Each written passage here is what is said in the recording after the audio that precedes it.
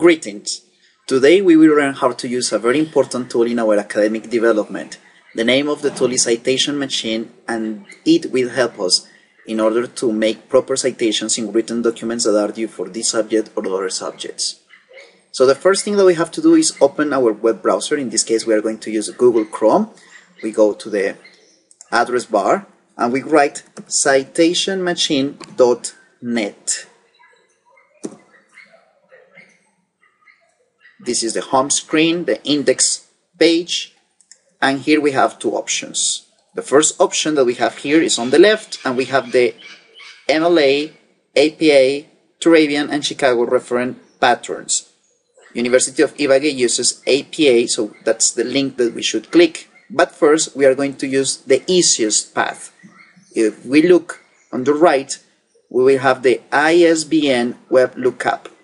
What is this? It's very simple. First, we click the APA button, and then in this space, if we have the book, the physical book or the e-book complete, we go to the first pages of the book and we look for the ISBN code.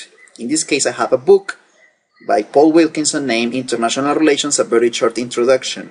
We are going to use the ISBN code in order to show how this tool works.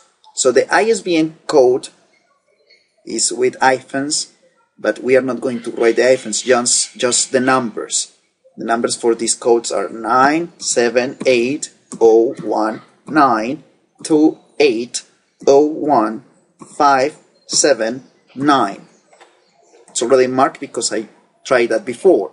We click on submit and the website does all the hard work for us.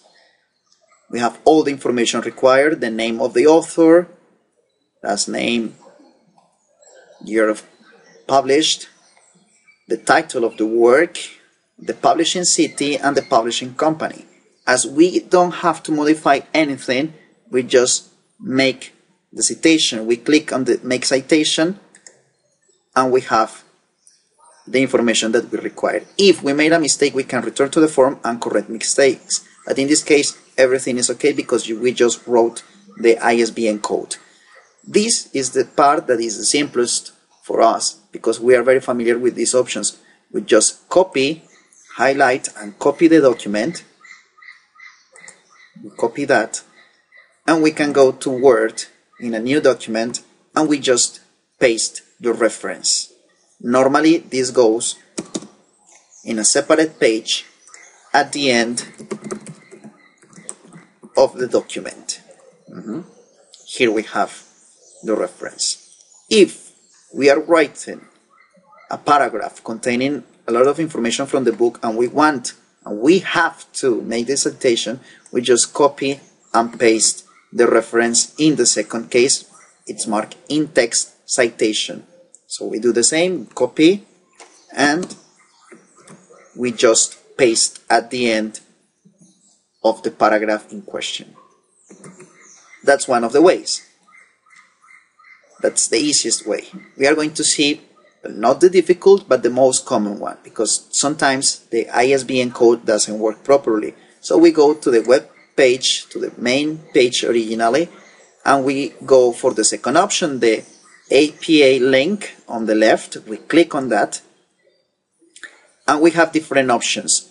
Web page, book, compiled work, reference work, etc, etc, etc. Depending on the source, we select that, but normally the format is the same. We have another uh, menu on the left with different specific publications but normally we could use web page or book. In this case, we are going to do the example with the same book that before. So we click on book. If there is more than one author, we click on the plus and we have the option to write more information about the author. So as I told you before, the name of the book is International Relations, a very short introduction by Paul Wilkinson. So the first thing that we have to write is the last name, Wilkinson. So right there because we already made the query before. And just the initial Paul, P, with a period. No more. The year the book was published, according to my edition, was 2007, different from the one that we saw before. The title of the work, International Relations, a very short introduction is already there.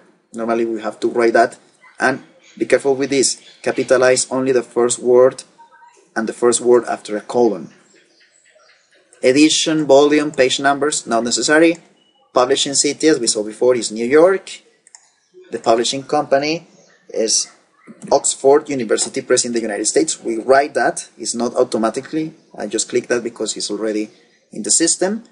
And we click on Make Citation. And again, we have the information. Wilkinson P. 2007 International Relations, a very short introduction, New York, Oxford University Press, USA. We copy, we go to Word, we can paste again the reference, we can also copy and paste the in-text reference and the only thing be difference between the first one and the second one is the year of publication 2008 for the first one with the ISBN code and 2007 for the manual entry that I made using the website features. Remember that citation is very important. It gives credit where credit is due. Remember that if you don't give credit, you are stealing ideas, stealing information, and moreover, stealing uh, copyright materials. And remember that copyright materials are protected by law. Also, there are some academic implications of stealing this information without the proper citation. I hope this tool will be useful for you, that you will find this very interesting and very easy to use, not only in this subject, but in also the other subjects that you have to deal with in the career. Uh, I hope you understood everything. If you have any questions, don't hesitate to ask uh, in the comment sections.